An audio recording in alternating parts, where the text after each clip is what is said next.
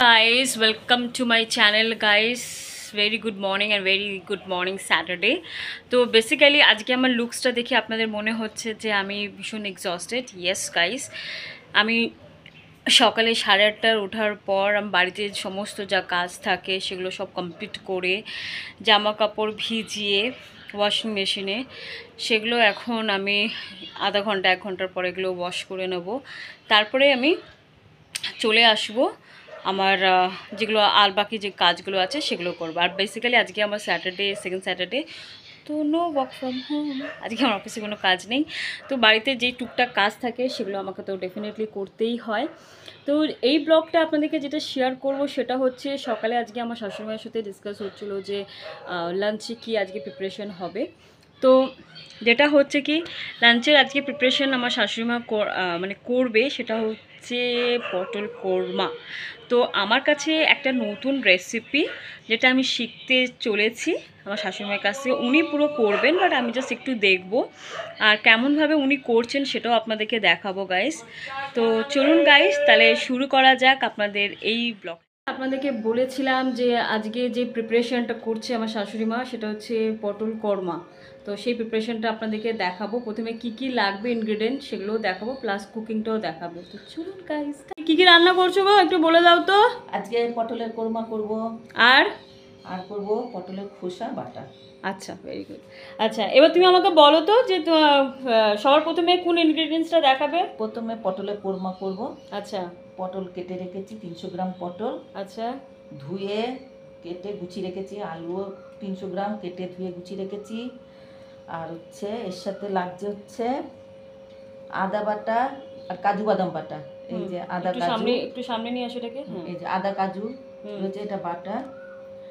আচ্ছা এর সাথে যাবে ধনের গুঁড়ো জিরের গুঁড়ো এটা লঙ্কার গুঁড়ো এটা হচ্ছে কাশ্মীর লঙ্কার গুঁড়ো। ফোড়নে যাবে হচ্ছে তেজপাতা দুটো শুকনো লঙ্কা তার সাথে দেব তিনটে এলাচ আছে ছোট চারটে লবঙ্গ আছে দুটো স্টিক আছে দারচিনির আর চারটে গোলমরিচ আছে। ঠিক আছে। এগুলো সব ফোড়ন নেবে আর লবণ হলুদ তো স্বাদ মতন যাবে হলুদটা এমনি যাবে। তার সাথে দেবো টক দই। টক দই কতটা দিচ্ছ? টক দই দু চামচ আছে। আচ্ছা। ঘরে পাতা টক দই।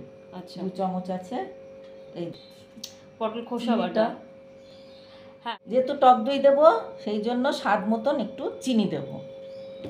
ঠিক আছে। এই। আচ্ছা পটল খোসা বাটা একটু বলো তো কি কি লাগ- লাগছে? এরপরে পটল খোসা বাটা করব। পটলটাকে ভালো করে খোসাটাকে ধুয়ে নিয়েছি নিয়ে রেখে দিয়েছি। পটল খোসাটা মিক্সিতে বেটে নেব। আচ্ছা। তার সাথে দেব পেঁয়াজটা হচ্ছে তেলের পরে দেব আর রসুনটা বেটে দেব আদা আচ্ছা। বেটে দেব। ওকে। দিয়ে এর সাথে লঙ্কা দিয়ে এটাকে রান্না হবে। আচ্ছা। কালো জিরে ফোড়ন দিয়ে। কিন্তু খেতে ভালো লাগবে।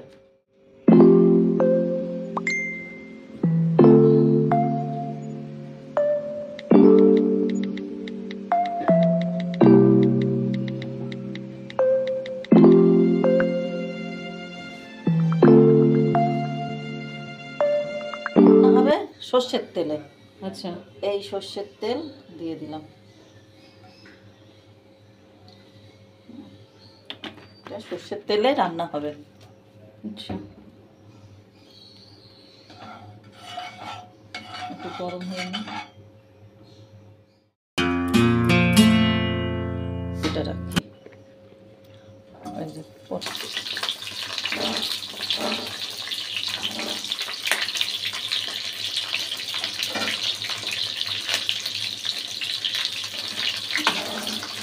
আগে লবণ দেবো না। আগে পটলটা ভালো করে ভাজবো। আর পটলে হলুদ দেবো না। লবণ দিয়ে শুধু ভাজা হবে।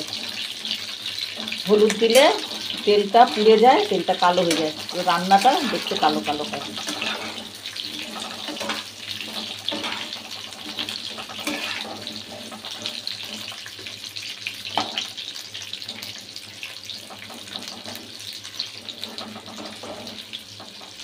শুকিয়ে গেল। আর প্রথম অবস্থায় যদি লবণ দিই না হ্যাঁ। এর থেকে একটা জল বেরোবে। ওই জলটা বেরোতে শুকাতে টাইম নেবে আর এদিকে পটল সেদ্ধ হয়ে যাবে। ভাজা আচ্ছা। হবে না। আমার পটল ভাজতে হবে ওই জন্য আমি এই স্বাদ মতন লবণ দিয়ে দিলাম। স্বাদ মতন লবণ দিয়ে দিলাম। এবার লবণটা দিয়ে নাড়ালে লবণটা ঢুকবে কিন্তু জল আর বেরোবে না। আচ্ছা। বাহ কোনোগুলো লাল লাল হ্যাঁ। এতে কিন্তু হলুদ দিইনি। আচ্ছা। পটল ভাজাতে যদি হলুদ দেওয়া হয় না তেলটা পুড়ে ওঠে তো ওই লব হলুদটা হ্যাঁ। যার জন্য যে কোনো রান্না করলে কালো হয় পটলের আচ্ছা।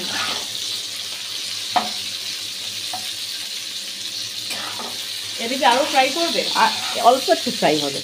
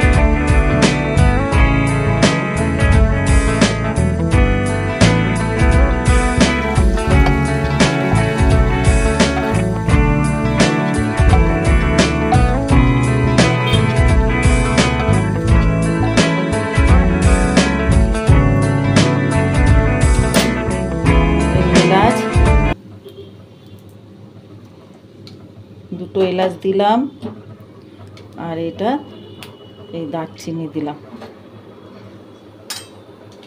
সেই সাথে দিলাম তেজপাতা। লঙ্কাটা কোথায় রাখলাম।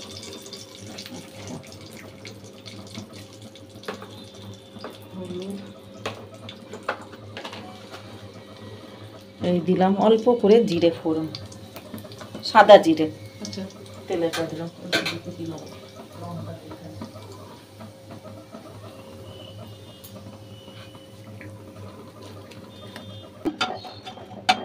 এবার এগুলো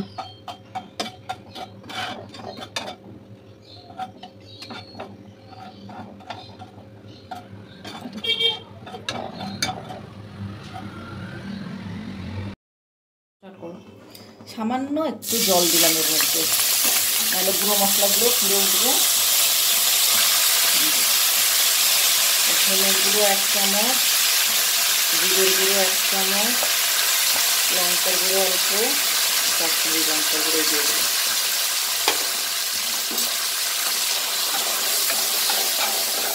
এটা পরে দিলে চট করে পুড়ে উঠবে তাই আগে জল দিয়ে নিলাম। তাহলে এবার এটা হালকা ভাজা ভাজা হবে। কিন্তু এটা লো ফ্লেমে ভাজতে হবে। মশলাটা লো ফ্লেমে দিয়ে দিলাম। এক চামচ আদা বাটা।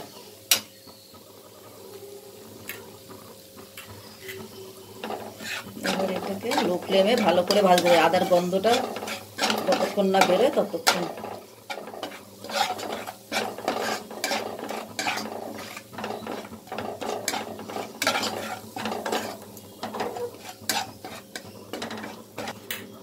এটার মধ্যে কাজু আর দই দুটো আছে, এটাকে লো ফ্লেমে এটাকে দিয়ে দেবো। পুরোটাই দিয়ে দিলাম, দু চামচ দই আছে।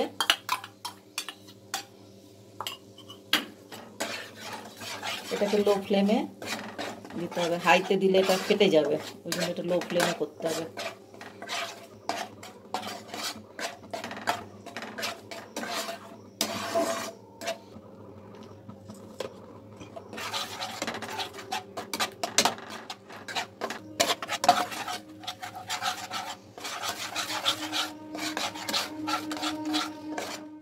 আমার তেল বেরিয়ে গেছে। মাঝখান থেকে মাঝখান থেকে তেল বেরিয়েছে। এবার ওই দই যে বাটিটা ছিল, সেটা ধুয়ে আবার জল দিয়ে দিলাম। আবার কষাবো। এরকম দুইবার জল দিয়ে দিয়ে এরকম এবার মশলাটাকে ভালো করে ফ্রাই করব। এরকম লো ফ্লেমে রেখে এটাকে বারবার এরম আরও দুবার এরমভাবে করব। মানে মশলাটাকে যত ভালো করে করতে হবে, তত এটা ভালো হবে। এই যে মশলার থেকে পুরো তেল বেরিয়ে এসছে মানে মশলাটা পুরো কষা হয়ে গেছে। এবারটা আমি আলু আর পটল দেবো এই আলু দিয়ে দিলাম হ্যাঁ। এই আলু আর পটলটা একটু পরে দেবো কারণ আলুটা একটু শক্ত তো। এটা নাড়িয়ে নিই আলুটা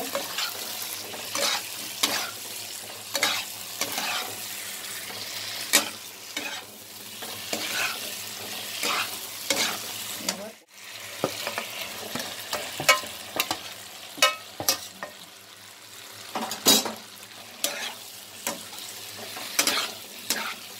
এবার ভালো করে পটলের সাথে এটাকে মাখাতে হবে মশলাটাকে।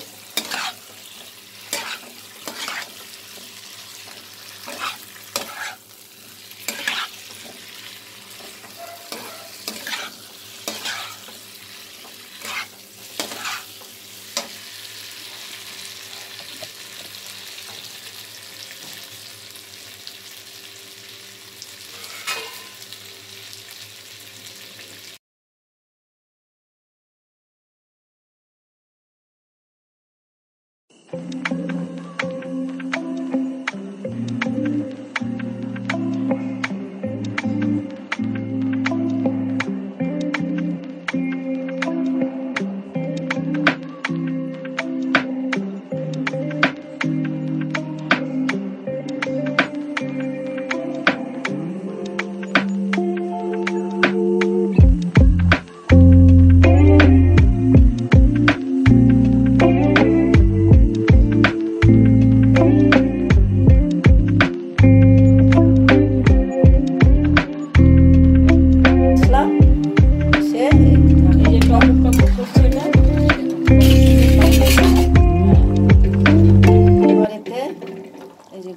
মশলা সাই গরম মশলা একটু দিয়ে দিলাম। আচ্ছা। আর দেবো একটু ঘি। ঘি কত চামচ দিচ্ছ? এক চামচ ঘি।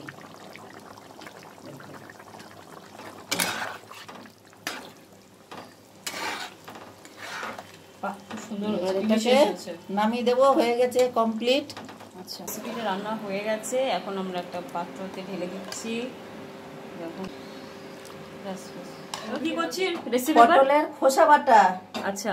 এই যে কড়াইতে সর্ষের তেল দিয়েছি। সর্ষের তেলটা গরম হোক। কালো জিরে ফোড়ন দিয়েছে। কাঁচা লঙ্কা দিলাম ফোড়নে।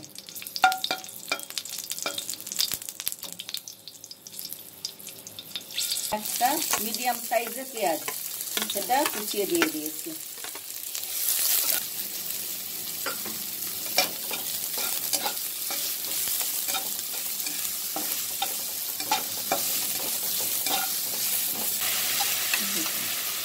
দু চামচ রসুন দিয়ে দিলাম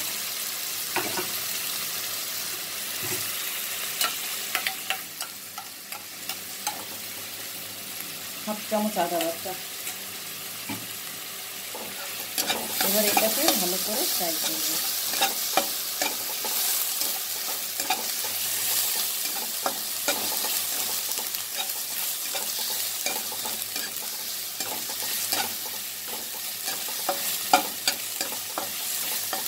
খোসা বেটে রেখেছিলাম মিক্সিতে, এটা এর মধ্যে এবার দিয়ে দেব।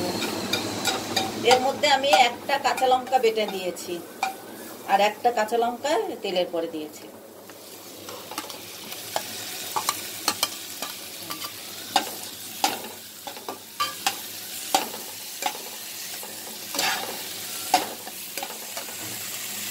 দিয়ে দিলাম।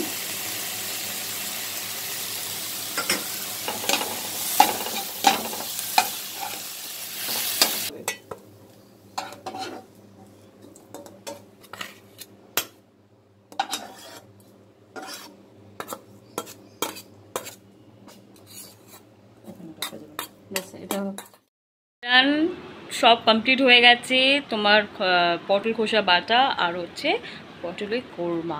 তো গাইস এখন আমি টাটা বাই বাই করে দিচ্ছি। আবার দেখা হবে আপনাদের সাথে নেক্সট ব্লকে পারলে সাবস্ক্রাইব করবেন। আমার চ্যানেলটাকে লাইক অ্যান্ড কমেন্টস তো নিশ্চয়ই।